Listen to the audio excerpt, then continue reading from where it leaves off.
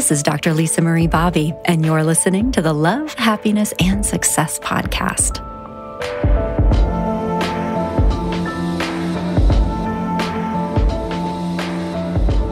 On today's show, we're talking about divorce with kids. Nobody wants to get divorced, and it is not the most pleasant topic to discuss on this podcast or elsewhere.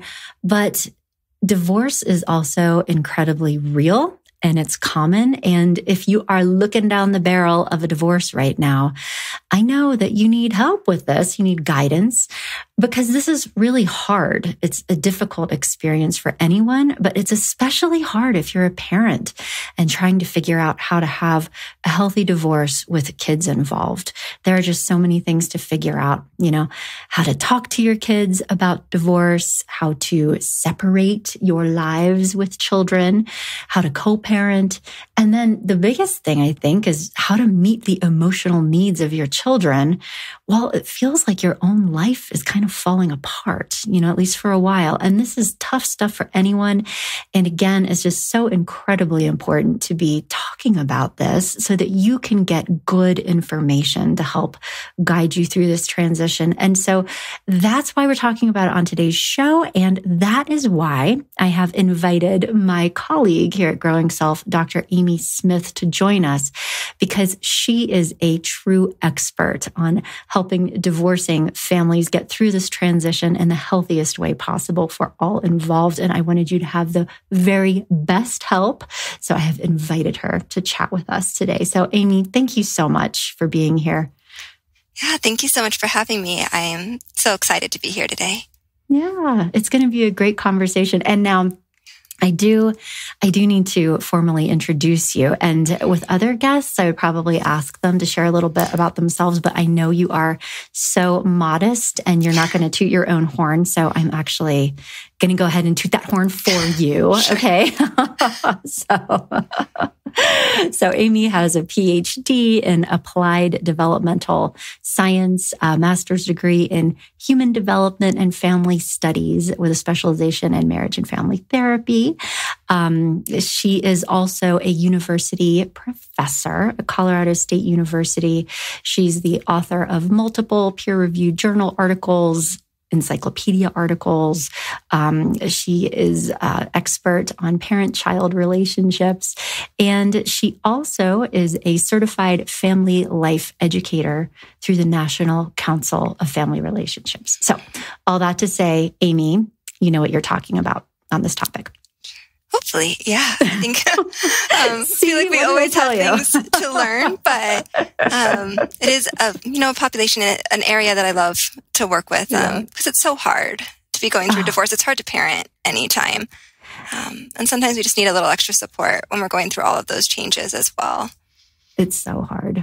It is so hard, um, and and so and to your point, especially hard when when divorce is on the table. Um, and so let's just jump jump right in to your topic. I mean, I know you're a wealth of information around how to go about this in the best way possible. And and I think on today's show, you know, we've talked a lot on shows in the past about what it's like for adults and relationships and kind of, you know, how to stop a divorce potentially or things to consider if you are thinking about getting divorced. So I would refer you back to, to other podcasts on that topic. You can scroll back through our feed to, to find them. But really today, this, this is for somebody who has either decided that this needs to happen or who is in a relationship with someone who has decided for them that this needs to happen. And they are just so agonized about not just their own feelings and relationship, but like, what is this going to do to our kids? And how do I help the kids with this? So I think the biggest fear for a lot of parents in the situation is that the divorce is going to harm the children emotionally, relationally, irreparably. Eh, can you speak to that a little bit? I mean, what, what does the research say? Yeah, so the research in this area really does show that, you know, it's not irreparable harm to kids. You know, it's hard for kids, eh, mm-hmm. you know, anyone going through that kind of transition or there's a lot of uncertainty and unknown. And so often, you know, kids can struggle a little bit and, um, it's hard to go through that. And, you know, kids might have a lot of questions. It varies a little bit depending on how old they are with an older kid might have a few more questions than, you know, a one or two year old just from mm-hmm. where they're able to have questions. But, mm-hmm. but the, so it's an adjustment period. It's difficult.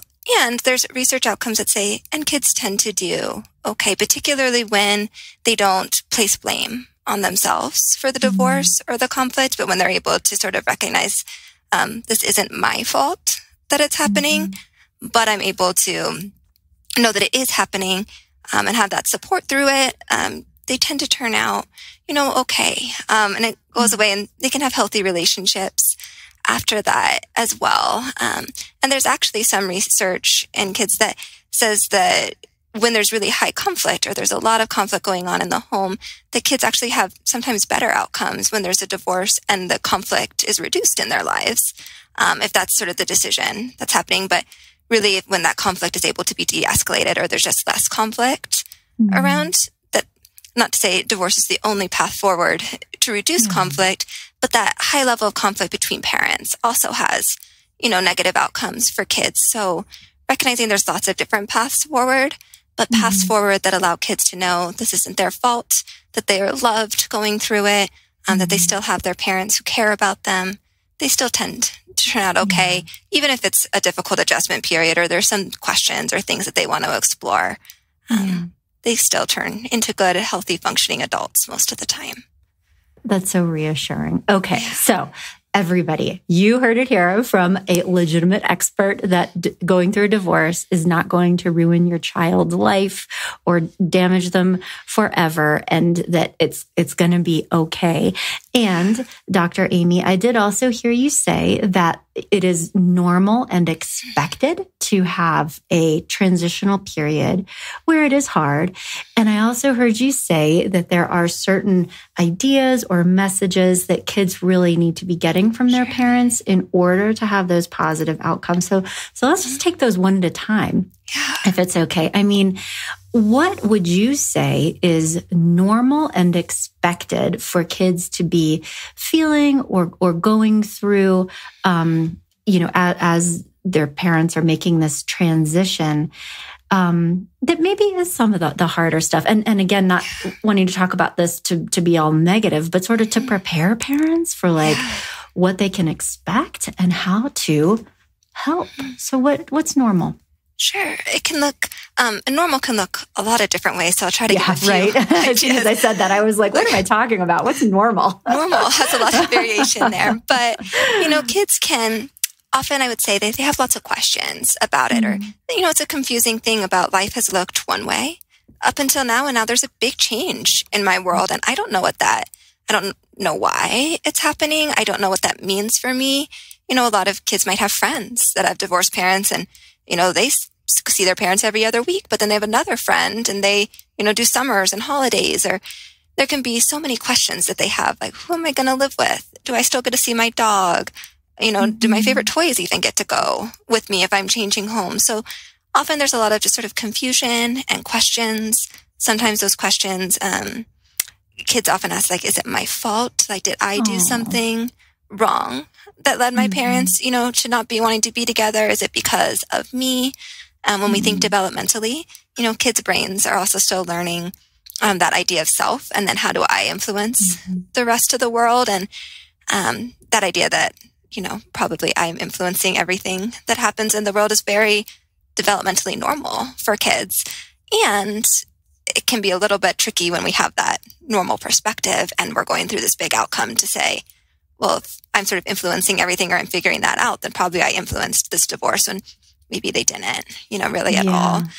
Um, so some of those questions and confusions and wanting clarity, there can also be, you know, a lot of grief or loss for kids of, you know, I've gotten to see both of my parents all the time and I love both of my parents and now I don't get to see them all the time or I don't know what that's going to look like and I'm sad or I'm sad that I don't live in the same house all the time mm-hmm. if we mm-hmm. have to move or um, so there can be that sort of element of loss for them too mm-hmm. and um, that makes a lot of sense whenever we have changes and changes are hard and there's that uncertainty that um, they can still be okay and they're mm-hmm. losing something. So often that confusion or loss um, tends to come into play. Um, so sometimes mm-hmm. there's that, you know, kids tend to either go internal to themselves of how we see that. That can look like maybe I'm withdrawing some, or I seem more sad, or I seem, um, you know, I'm crying more. Those kind of mm-hmm. internal behaviors that could maybe be a little bit feeling more anxious, or can I control things, or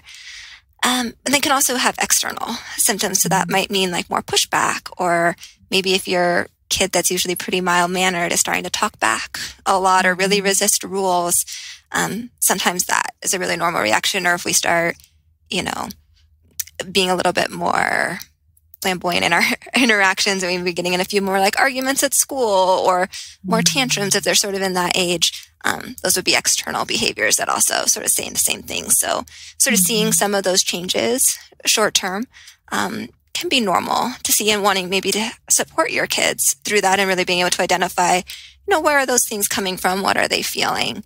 And help them explore that can be really helpful. But it is, you know, normal either to see some behavior changes too yeah. at times. Wow. That was, that was just so much information. And, and so to make sure that I'm, I'm following, um, developmentally, kids are very self referential. They're, they're little narcissists. Everything is about them, right? And and so because of that, they can blame themselves or or feel like a sense of responsibility or or guilt um, mm-hmm. and that can be normal and needs to be really um, addressed directly and i'm also hearing you say that because this is a, a loss um, it they will also commonly have really big emotions. Sometimes it is sadness, but sometimes that can look a lot of different ways. Mm-hmm. Anxiety, which turns into controlling behaviors, anger, which can be difficult as a parent, um, and also uh, withdraw. Uh, isolation, kind of rejection of others. And so these are just like symptoms, I guess, of these really super big yeah. feelings that are going on in kids and that they need help from parents in order to be able to manage those. Um, and, and I'm so glad we're talking about this because we're, we're both family therapists. And sometimes, you know, you see kids and here come my air quotes. You can see this on the video if you're watching, but other it's audio, you can't. My air quotes is that, you know, when kids are behaving badly because they are doing weird controlling things, they are lashing out or breaking rules or being defiant or not doing their homework or stuff. Um, it can be easy for parents to like um, take a, a, sort of like punitive approach with kids, like mm-hmm. the, the, try to start managing the air quote again, bad behaviors and sometimes miss the fact that there are big feelings, normal, yeah. healthy, appropriate feelings. Do you see that in your work? Sure. Yeah. Often yeah. when I work, you know, with families, either if I'm working with parents or a family mm-hmm. that, you know, often we see behaviors and we want to stop the behavior because they're not working for some reason. Mm-hmm. And, but often, um, you know, if we're getting into fights or we're, um, you know, really talking back or things like that makes sense. As parents, we'd want mm-hmm. to sort of stop that mm-hmm. behavior. And often those behaviors are a way of saying, like, I don't really know what I'm feeling, or I'm feeling something big and I don't know how to express it, or I, am trying to show you that I'm having yeah. those feelings. Um, and either way, we often pay maybe more attention to those big external behaviors, but those internal ones, you know, sort of have the same impact of even if we're keeping it all inside. So we seem like we're functioning, you know, mm-hmm. really well sometimes. Um, those feelings are still all packed up in maybe a tighter little bundle that aren't coming out. But it's still important for those kids to have, you know, the outlet and the space to talk about it and to know that those feelings are okay and that they make sense. And that as parents, you know, you're sort of still there of, we care about you. We understand you can have those feelings.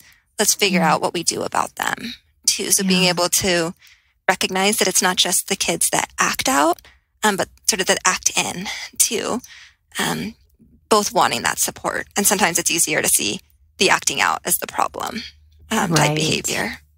Right. As opposed to the the perfectionistic 14 year old girl who's the, the, star of the school play and mm-hmm. throwing up her lunch every day in the bathroom, like that kind of thing. Sure. We, we, miss that, exactly. the, the ones that hide. Mm-hmm. So, okay. So then, um, that what I'm hearing you say is that a lot of the the outcome for kids really depends on the parents' capacity and willingness to be that like emotional mm. partner in that place for kids. And so, you know, certainly, you know, a, a parent could send their kid off to therapy to have that one hour sure. a week of talking about their feelings. Or, you know, I'm sure a lot of the work that you do is really around that, you know, as a parenting coach, like helping parents learn how to engage with their children in a more emotionally substantive way. Um, do you, and I know that this is a podcast and beyond the scope of our 45 minutes together, whatever it is. Sure. I mean, people, you know, you, you do multi sessions of family therapy around this, but, but what would be some of your, um, recommendations or strategies to help parents just kind of reorient themselves um, and almost like know how to be with their kids in a way that's helpful for their kids. yeah, I don't know if I that was like very. Oh, uh, thank you for saying that because I just felt very convoluted as that came out of my mouth. Yeah, what, do you know what I'm saying? It. I do. Yeah. yeah. Mm-hmm. I think one of the first biggest tips is to recognize that even though you're, as a parent, being that emotional partner, like that support mm-hmm. for your kids to process, mm-hmm. sort of that recognition that it is a one way street of you're there to support your kids' feelings, but your kids aren't there to support yours. And sometimes that's really hard because when we go through divorce or we're thinking about or any of those process as a person, there's a ton mm-hmm. of feelings and lots of things that come up and we want support and validation. And that makes perfect sense. And when you're thinking of a kid that's maybe a little bit in the middle, we might want that reassurance that your kid does love you or that they want to be with you.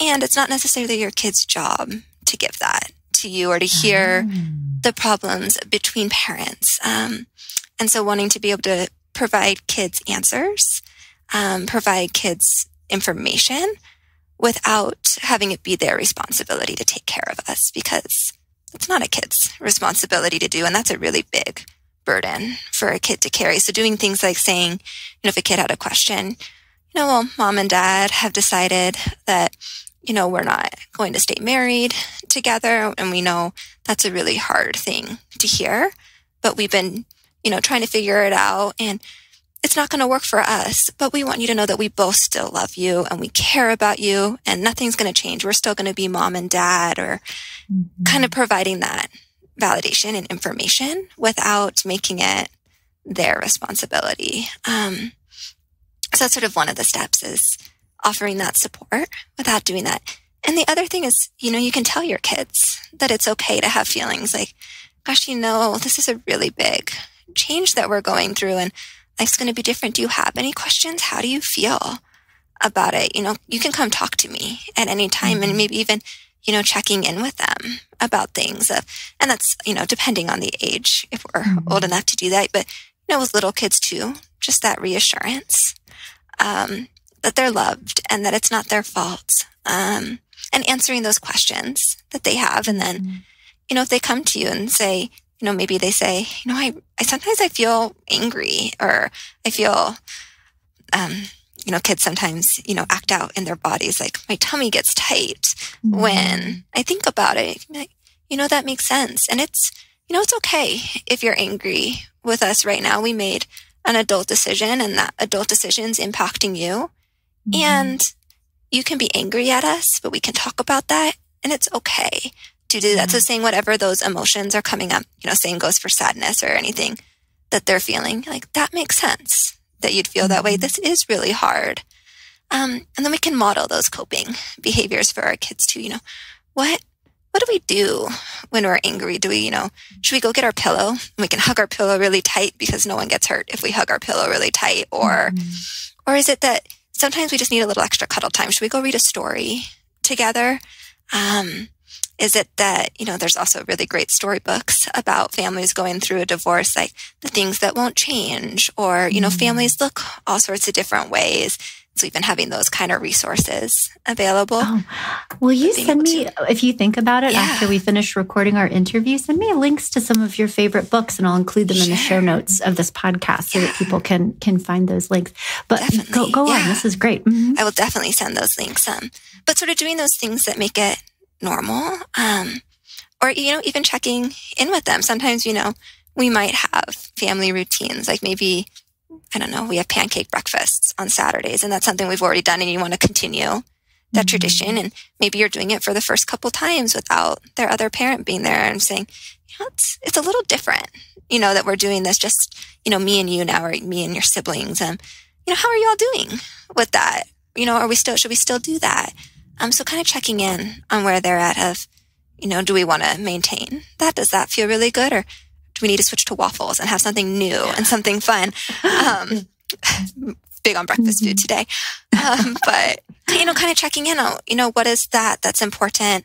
Um, and, you know, the other thing would be, you know, to the extent that, you know, your parenting agreement has, you know, kind of validating that, of course, it makes sense they would still want to talk to their other parent or they still love their other parent. And that mm-hmm. makes sense. And when we have, you know, two parents that are really good, safe parents, you know, kids deserve to have that connection with both of them and they want that. And, um, you know, that kind of goes in, this is maybe a what not to do, but, you know, not bad talking their parent to them. Mm-hmm. You know, sometimes not saying anything, um, is better than saying, you know, if you can't say anything nice, don't say anything at all. We'll go back to mm-hmm. that, that we learn when we're kids. But, you know, if we can't say something nice about their parent, it's, you know, don't say that they're a bad parent because what a kid can sometimes hear is that, well, if my two parents, I came from two parents, and if one of my parents I'm hearing is really bad, what does that mean for me? Does that mean I have the bad, or what does that mean? Or is, is it bad that I want connection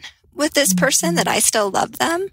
So being able to sort of separate there's the conflict between parents, and then there's the relationship between kids and their parents, and those are not the same thing. Um, mm-hmm. and someone might not be the best spouse for you, or there might be lots of reasons that ended. And it doesn't mean they can't still be a good parent for your kids. So kind of trying to recognize and balance that for them as well. Wow. Again, just gosh, so much to, to unpack here. So, so I, I heard you say that how to explain divorce to a mm-hmm. child and how to tell your kids about divorce um, is really it matters the way that you're describing what's happening the way that you're communicating that that's something that parents can do to to shape this experience for children is to get real clear and intentional about how am i talking about this.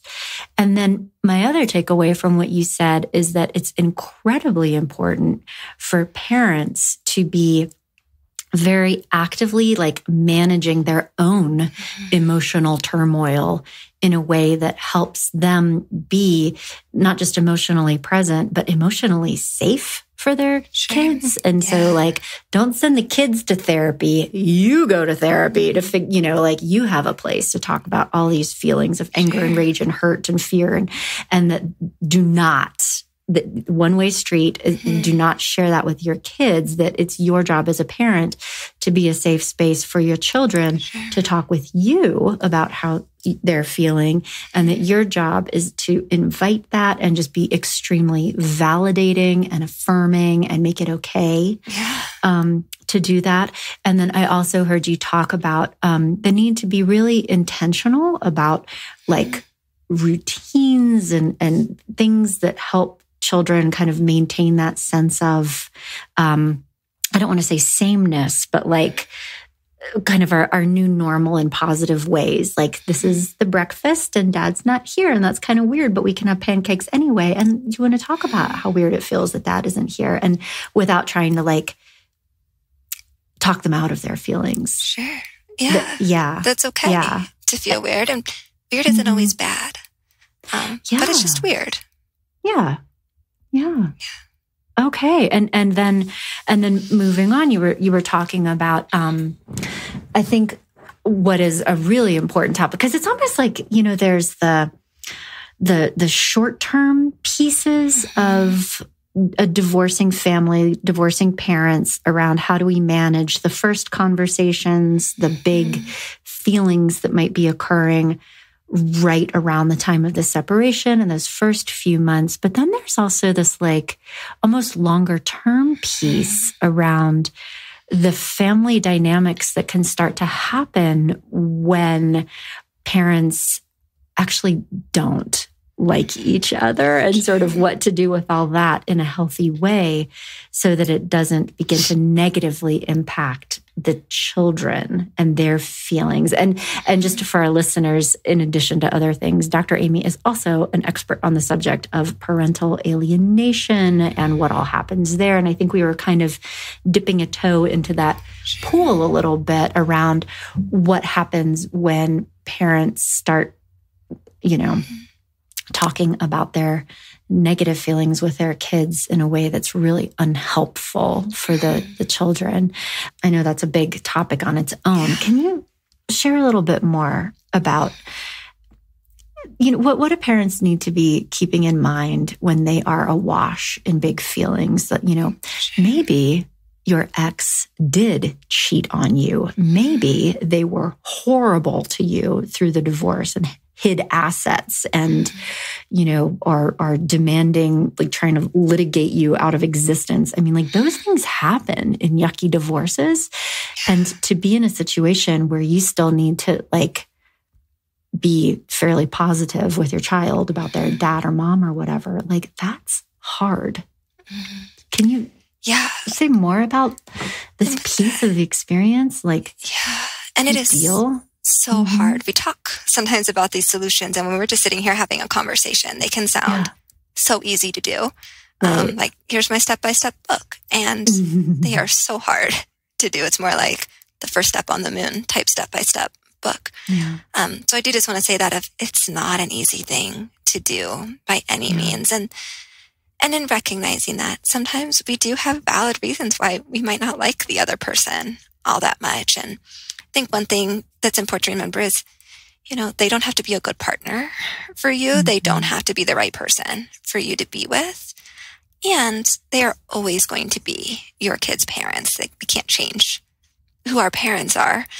Um, and so a little bit of that recognition. And sometimes we have to get a little creative and, you know, what can you do? Maybe there are situations where if we're, you know, having an exchange for parents, like, I don't think I can see this person right now and have a good exchange for that. So maybe, you know, my sibling or, you know, your good friend or whoever, they do the drop off. You have a neutral person or, you know, maybe they're living with this new partner and you're not ready to see that at all. So we can't do those exchanges or drop offs at their house. Oh, let's meet at a coffee shop and have it be sort of a mm-hmm. neutral territory.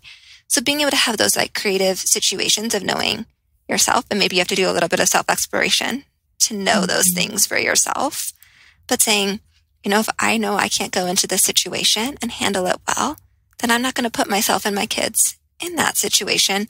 I'm going to figure it out a, a creative mm-hmm. other way to do that. Um, if there are, you know, situations where maybe there's those times where you're like, if I have to answer something about my uh, ex partner, I'm not going to say anything nice you know, you could say to your kid, I'm really glad that you had a great visit with them, or I'm glad that you still had a special time with mom or dad, or that sounds like a really fun experience. I'm glad you got to do that.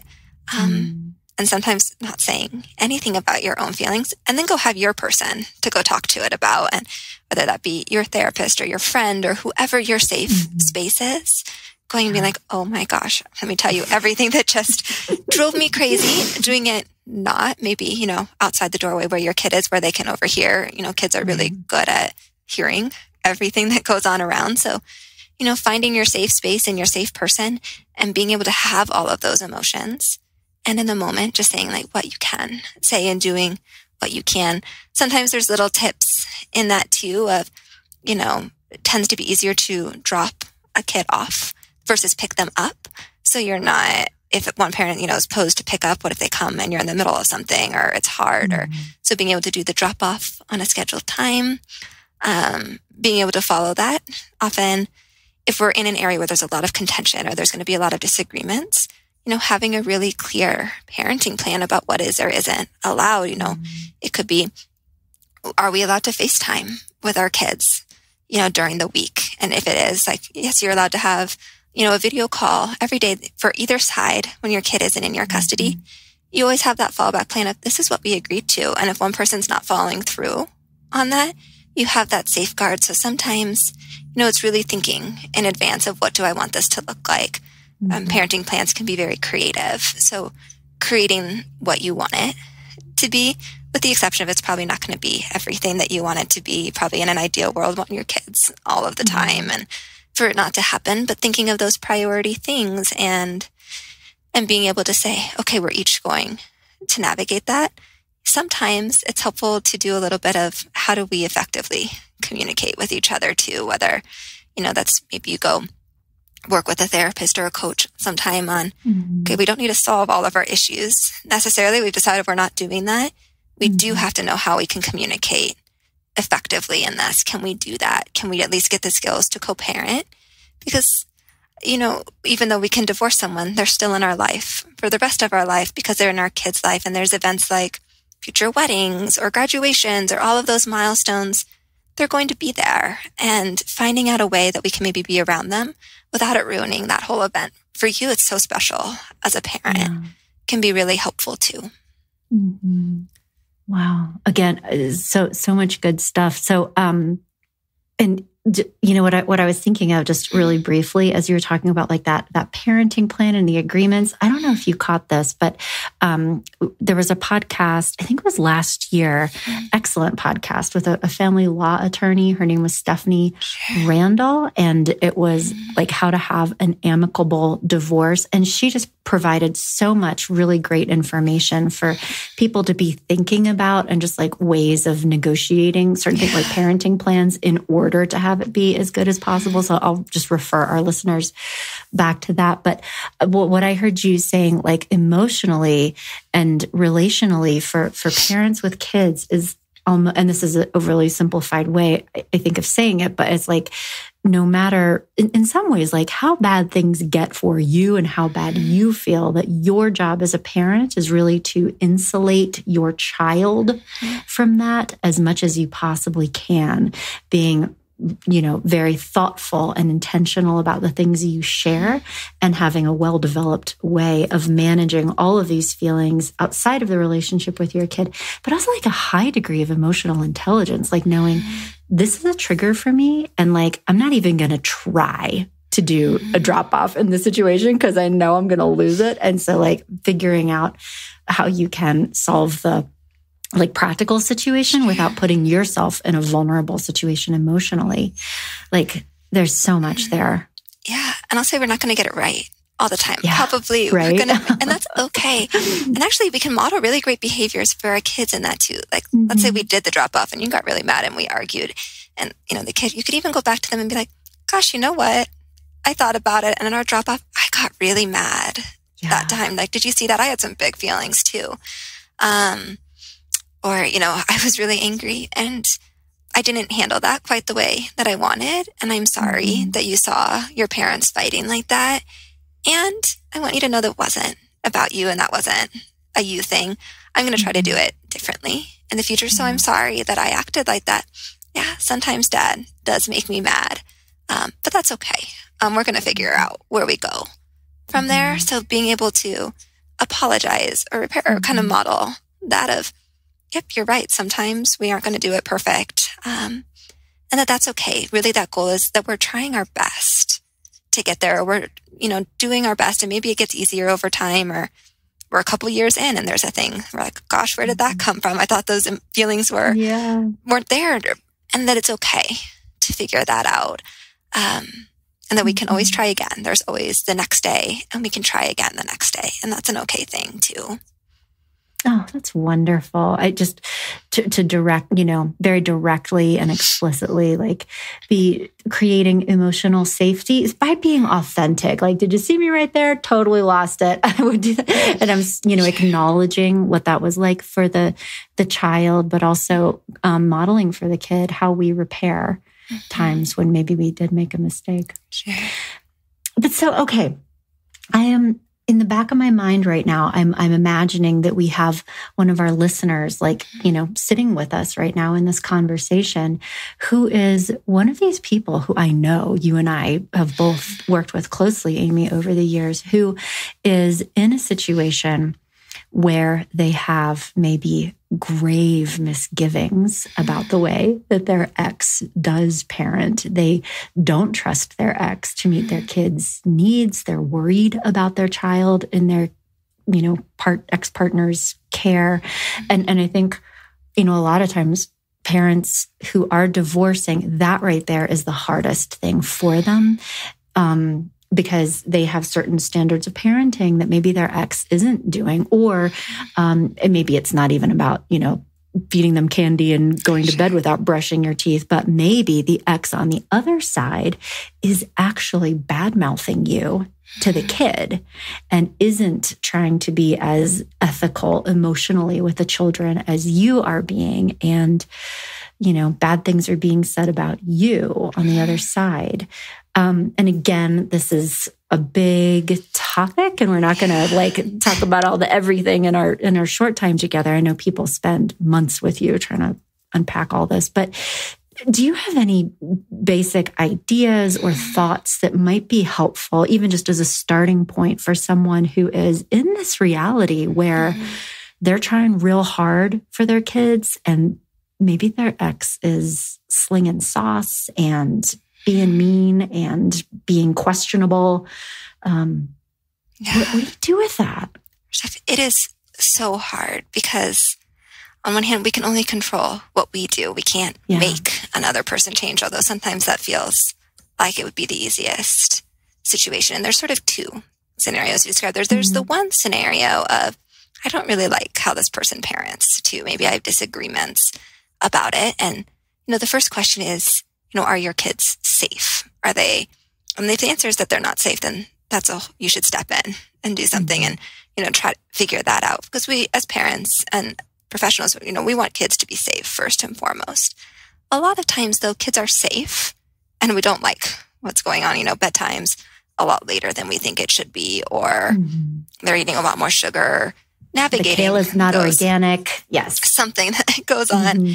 Mm-hmm. And in those cases, it's sort of a, you know, let's pick our battles on that. If it's, you know, this diet really is important for some reason, maybe here it is. Well, maybe then we need to negotiate that. But if it's, you know, bedtime is 7 versus 8 p.m., and we don't like that it's 8 p.m., but it's okay, then we pick our battles on that because mm-hmm. you're probably going to parent differently um, in different households. And that gets even more complicated if somebody gets remarried or there's more kids added into the mix. Right. But but kids can kind of adapt between those two rules. Having routines or things for your own kids when they come home, like, you know, first night back, we do movie night or we're going to have that meal together or, you know, whatever those routines are that you mm-hmm. can establish. It's really helpful to provide that consistency um, or expectation for kids if they know what's going to happen. Um, and that can even be maybe that's not being done on the other mm-hmm. side, but they know that routine's there with you. And that can be kind of yeah. grounding and hopeful. So doing what you can and helping mm-hmm. that, um, sometimes it can be, you know, I see it come up a lot of times of, are we going to church or not? And that can be mm-hmm. different. Or, you know, maybe we have different political things we're telling our kids about or different, those value differences can be really hard to hear. Mm-hmm. And your kids are probably going to experience that sometime in their life too. So we can practice being like, yeah, you know, people really believe different things. And in this house, what we believe is this. Um, and mm-hmm. this is what we've really been doing. And you're right, that's different in that house. And that can be confusing. We need to talk about that more. Who can we find to talk about that? So sometimes that can be helpful. Sometimes um, there's the other thing that you mentioned was really when the parent is kind of bad mouthing you or they're yeah. not doing any of these things. Right. Or using yeah. the kids emotionally or like doing all the all things the that things. you said to not do, right? Yeah. Mm-hmm. Um, and what we generally want to do is do the same thing back then to kind of defend ourselves. It makes sense yeah. of, well, they do that too. Or, you know, kind of we. Let me tell you the truth. truth. Yeah. Sure. And what that does is it puts our kid in a very stuck position of having to choose sides.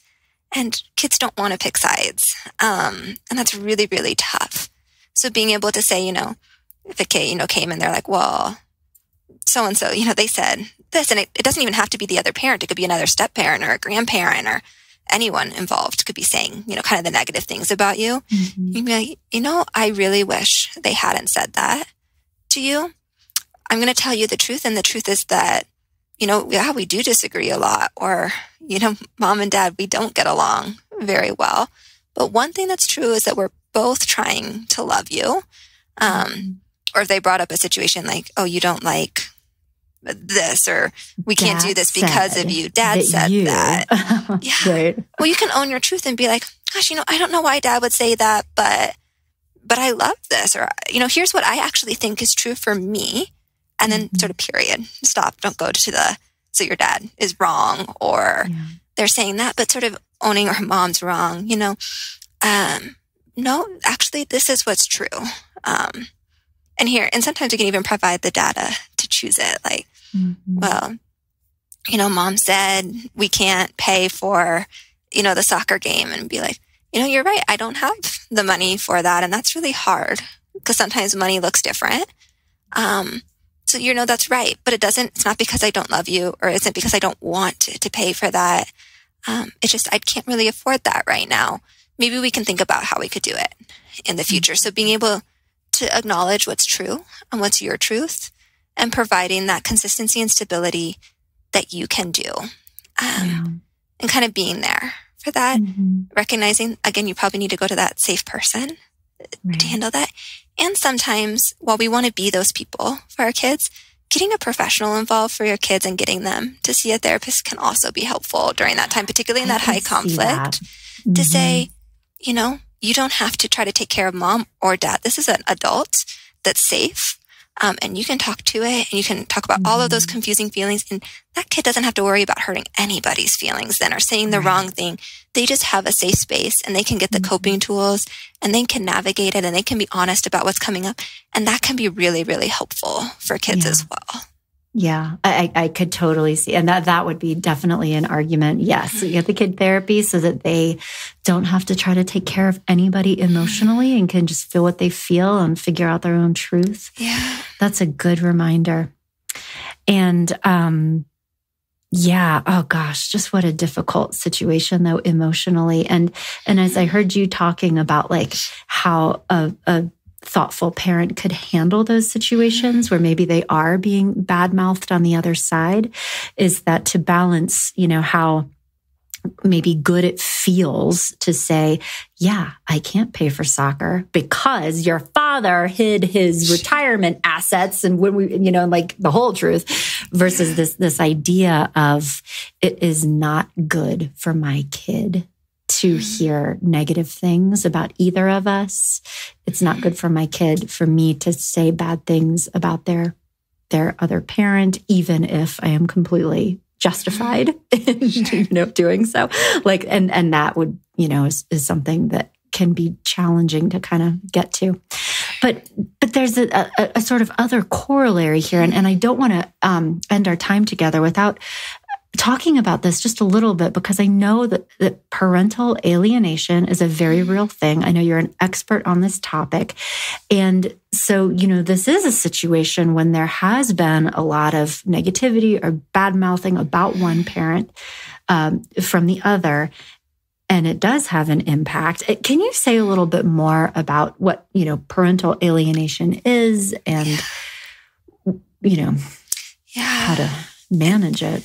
That's mm-hmm. it's a really tough area. And I'll say parental yeah. alienation exists on a spectrum. So often when we uh-huh. talk about it, we talk on like the worst case scenario situation of, you know, parents that are safe, good, loving parents that don't have any access, you know, to their children for some way, or the kid is sort of turned against them, even though mm-hmm. they are a good, safe parent. So that's one sort of caveat when we're talking about it, that the parental alienation really only exists when there's two parents that should have contact with their mm-hmm. children. So in situations where there was any abuse or neglect, that's not parental alienation to not, you know, have your kid have contact with them. That's being safe. And yeah. so it's one sort of definitional point is that it's between when there's two safe parents. Um, and that it can, you know, exist on any spectrum from that kind of bad mouthing and confusion creating. And that can go really big too to kids saying, well, I'm not going to go to your visitation or I'm not going mm-hmm. to do that. One of those things can, can be protective is again, going back to those, you know, legal orders that we have and those protected rights of saying, you know, you actually have to do this or this has to be done because, you know, sometimes what happens is you don't get to go to visitation or the kid doesn't, is going to say, I don't want to go or I don't want to answer the phone. And so the courts can be used as a way to kind of, mm-hmm. nope, this is the order. This is what we're doing. So yeah. having that safe ground and being intentional in how you create it can mm-hmm. help. Um, and navigating. Like, yeah. Mm-hmm. Sorry. What were you going to say? Oh, oh no, go ahead. You, but continue your thought. Oh yeah, I, I blurt. That's okay. I'm interrupter. I'm working on it. That's okay. I can be long-winded, so we'll make a good team. Um, but sort of navigating that support. Um, you know, there are cases I've worked with where people don't have you know contact with their kids at that point, and that is just heartbreaking to do. And and sometimes you know the best we can do is try to be maintain that consistency. One of the things we know doesn't work is to do the same behaviors on the mm-hmm. other end of things. And sometimes, you know, kids get to be adults or they can change in the future. Um, but recognizing that it, one, it's really hard and it's really tricky, yeah. trying to navigate that continual contact of I'm still here, I'm still, you know, showing up for you. And that looks different in different, you know, contexts of, you know, if there's a little kid versus a teenager, mm-hmm. showing up might look very different. Um, mm-hmm. But often it's very, you know, let's go to the preventatives. Like, you know, can we figure out where that's coming from? Can we do some couples work together? Or if I'm just having that time, I can, you know, you can disagree with behaviors without bad mouthing another person and say, you know, I, I really wish, you know, mom or dad wouldn't say those things. Um, and I really hope that you can trust that what I'm telling you is what's true for me. We only get a say what's mm-hmm. true for mm-hmm. ourselves. And so I want you to know that I love you and I care about you and I have fun. And so kind of providing that alternate balance to kids can be really helpful or not pushing back. You know, the kid says, I, you know, I don't want to see you, um, right now saying, gosh, you know, it's, it's really hard to do these transitions, isn't mm-hmm. it? But right now it's our parenting time. So what are we going to do? And kind of navigating through that maybe figuring out, you know, if they say, you know, where's it coming from or handling here, that gives us ideas of how do we move forward. Um, but again, often that alienating back doesn't doesn't work, or it'll be met with that resistance or be used to confirm things even. Right. Um, and recognizing again that it's that full spectrum of anywhere. So they don't always all go to those worst case scenarios. And I think that's a hopeful thing to remember that mm-hmm. they do. And it's tragic and awful when that happens and that they mm-hmm. don't always or we can prevent it earlier on sometimes as well. Yeah. Yeah, that that said that parental alienation is on on a spectrum. There's sort of shades of gray. And it's when um, you know, one parent uh, is very negative towards the other and actually um, influences the child to think badly about the other parent to the point where it impacts their ability to have a relationship with that other parent. Um, and I've heard some people saying it's like it feels like they're brainwashing my kid. They're turning them against me, like all this. And and so you're saying to not not you know use the same tactics about mm-hmm. trying to talk back, but just really consistently like sticking to the visitation as much as possible. And if the child is, you know, maybe like a teenager or something, is like, no, I'm not getting in the car to just find ways of of just consistently showing up to the degree that you can so that your kid knows that you're not giving up on them you're still there and that even if right now they might be under the influence of somebody who's highly negative um, you know they'll they'll grow up and and maybe have the opportunity to re-engage and and um, make up their own minds is that yeah. did I summarize that? I think mm-hmm. that's great. And I would also say in those cases, get support for yourself oh, yeah. as well, because